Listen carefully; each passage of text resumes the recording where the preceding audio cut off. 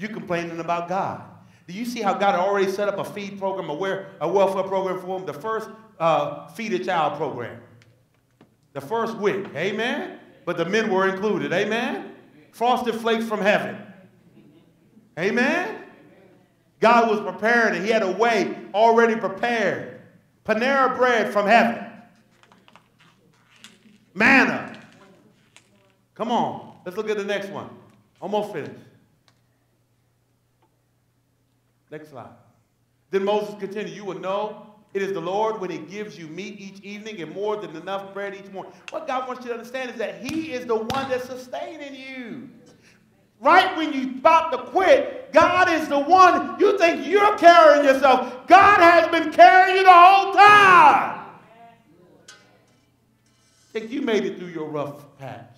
It was you that made it through your rough patch. It was God carrying you. He is really the one you are complaining about, not us. We are nobodies, but the Lord has heard your complaints. Moses turned to Aaron and said, Bring the people together because the Lord has heard their complaints. Aaron was speaking to them. Then everyone looked out toward the desert and saw the bright glory of the Lord in a cloud. And the Lord said to Moses, I have heard my people complain. Now tell them that each evening day they will have meat, and each morning they will have more than enough bread. Then they will know that I am the Lord their God. God's just trying to, in the midst of trials, trying to prove to you that He's the one that is sustaining you and providing for you. It's not your education. It's not your good looks. It's not your smooth talking. It's not your northern accent. It's not your southern drawl. It is God providing a way for you. Amen. That's something to praise God about. That evening, a lot of that evening, a lot of quails came and landed everywhere in the, in the camp. The gospel bird came down. You see why people want to eat chicken at the church? And the next morning, dew covered the ground. Started all the way back in the Old Testament. After the dew had gone, the desert was covered with thin flakes that looked like frost. The people had never seen anything like it. And they started asking each other, What is it? Moses answered, This is the bread that the Lord has given you to eat, and he orders you to gather about two quarts for each person in your family. That should be more than enough. And they did as they were told. Mm, some did, but you know, there's always going to be a few folk. There's always going to be some us out there. They're going to want to get more because we're going to be greedy. We can't believe that God's going to provide. And so some gathered and some gathered less according to their needs, and none was left over. Moses told them not to keep any overnight. Some of them disobeyed but the next morning, what they kept was stinking and full of worms, and Moses was angry. Some tried to keep more because they didn't want to trust God for the next day. And sometimes we try to take more to what God has for us because we can't trust that He's going to be there in the future. You only can get what God wants you to get in your time. That's the problem with the body of Christ right now. We getting so fat on our own selves because we don't want to trust God on a daily basis. Are y'all with me? How many, how, why you need five cars? Are you with me? Amen. I take that too. Amen. You got, you, you got to trust God. Amen. Let's keep, let, let's keep going. Wrapping it up. Next one, please.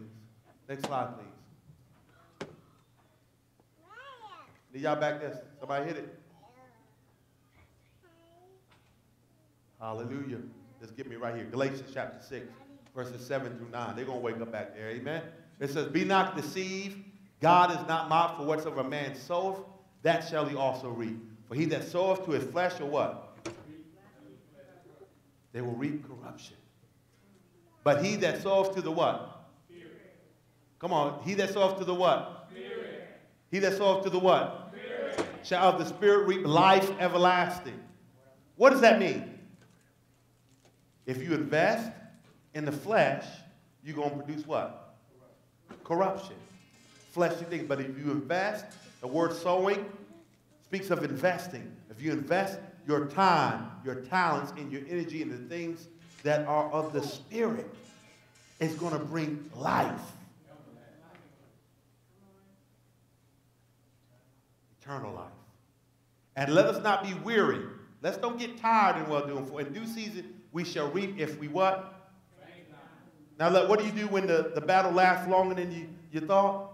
One, you get weary. And let's define what weariness is. It means to lose a sense of pleasure, to not feel the enjoyment that you once felt.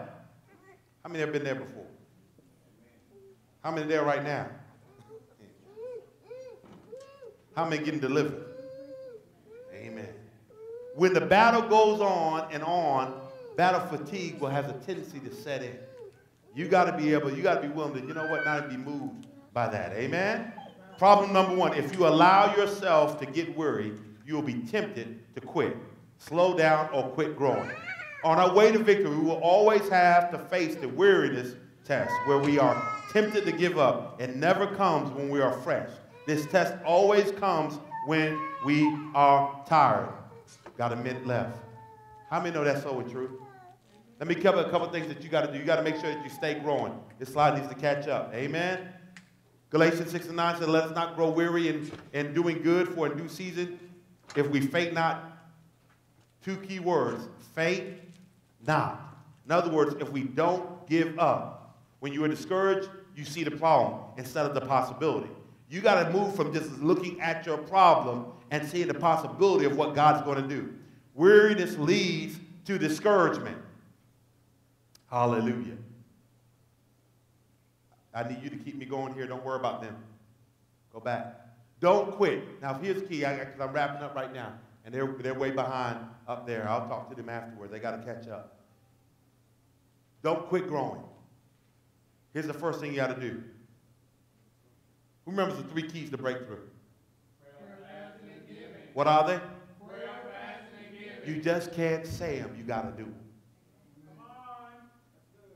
Just can't say them. You got to do them. Prayer, fasting, and giving. The Bible says, Matthew chapter 6, verse 5, also when you pray, you must not be like the hypocrite, for they love to pray. Y'all can catch up back there, praise God, and get to this slide that talks about don't quit growing so that people can see that. Matthew chapter 6, verse 5. Also, you must not be like the hypocrite, for they love to pray, standing in the synagogue and on the corners of the streets, that they may be seen by people. Truly, I tell you, they have their reward. So the Bible says when you pray, so there's expectation that you're going to pray. But when you pray, go into the private room. Tell you how you're supposed to do it. Not on in public where everybody can see you, but seeking the face.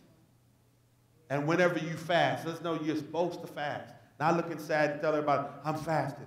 No, I'm looking for breakthrough. Fasting doesn't move God. Fasting prepares you for the breakthrough. Are you with me? It prepares you for what God's going to bring you in. God, a lot of times, I've already brought you in, but because you're so consumed with what's going on around you, you can't see God. Fasting opens you up. You empty yourself out of you so you can see more of Him. Amen? And in giving. Giving. The Bible says in, in, in Matthew chapter 6 that charity, when you give, so let's just know when you hear God say, when you give, is an expectation that you're going to have to give. Amen? So when you fast, when you pray, and when you give, go to the next one up here, please. When you give, you can see these scriptures right there. When you fast, when you pray, and when you give. Matthew 6 and 3. It says, If you have faith in the size of a mustard seed, you will say to this mountain, Move from here, and there it will move, and nothing will be impossible to you. But this kind does not go out except by what? Prayer and fasting. Some things are going to leave you until you get in that place of prayer and you get in that place of fasting. There's so much more I want to share tonight. Let me share today. I want to talk about the word. I want to talk about not forsaking and assembling of yourselves together in Hebrews chapter 10. If you just move that, all these things I want to talk about. I want you to keep coming to church. Matthew 10 and 24, write that down. But I'm going to hit some more. Next one, please. Uh, Hebrews 4 and 12, how the word is a powerful two-edged sword. 2 Timothy 2 and 15, talking about studying and meditating on the word of God. Joshua 1 and 8, all these scriptures. We're going to be getting into it. Because these are things that you got to do when you are feeling like giving up. You can't just roll over and quit. Tell your neighbor, say, neighbor, get up, get up. and fight the good fight of faith. faith. Amen. Stand at your feet, everybody. Stand at your feet, everybody. Give God some praise. Amen. Hallelujah. I don't know about you. I can't stop. I won't stop. I won't give up until I get what God has for me. Did you hear me? I can't stop. I won't stop. I won't give up until I get what God has for me. And I'm telling you, God has something special no matter how young or how old. God has something special for you. But it comes by you standing. It comes by you standing. If you're here today, you say, Pastor, I know the Lord, but I need more of him, just raise your hand. Just raise your hand. Raise your hand to him because he wants to give you more. He wants to give you more than more than you want to ask. Amen. So, Father, right now, God, we pray for every person with their hands up right now. And those that don't even have their hands up. We pray, God, that Lord, give us more of you and less of us. God, if we just have to move, God, you didn't let us get far in the message because there's a reason. Because maybe you want us to stay right there in prayer, fasting, and giving. So, excuse me for even trying to rush the process. We yield to you. And God, we move in that place of prayer. God, where there's been a blockage in our communication because of guilt and condemnation. God, we move it right now. I just hear some of you need to cut some things from your life. Some of you feeling guilt because you're doing some things that you know you shouldn't be doing. You need to cut it out. You got secrets with the enemy. God says it's time to cut it out. Once you cut it out, the guilt will leave. Once you come clean and exposed, the guilt will leave. Amen? Amen. God hasn't called you. God says He's come to deliver you from your enemies, not your friends. Amen? As you cut it loose, got to do